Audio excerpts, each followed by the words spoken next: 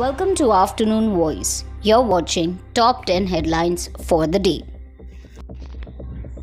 In Bihar, Chief Minister Nitish Kumar will be handling portfolios of Home, General Administration, and Cabinet Secretariat in the Mahagathbandhan government.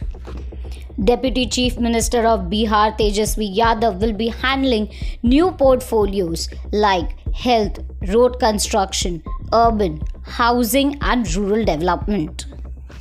India's all rounder Washington Sundar has been replaced by Shahbaz Ahmed due to injuries ahead of India and Zimbabwe ODI series.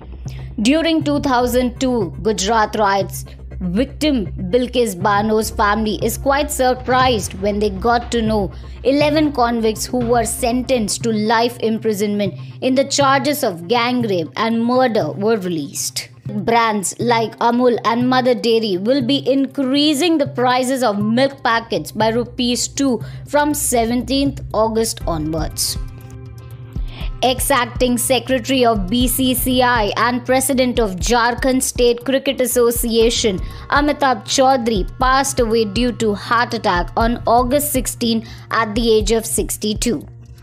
India has reported decline in COVID-19 cases with 8813 newly reported cases. An order has been reserved by Delhi High Court on public interest litigation seeking disqualification of Satyendra Jain for being an MLA. Child rights body NCPCR seeks strict action from the Rajasthan government for beating a Dalit 9 year old child to death for touching the drinking pot. Defense Minister Rajnath Singh hands over multiple weapons to the Indian Army.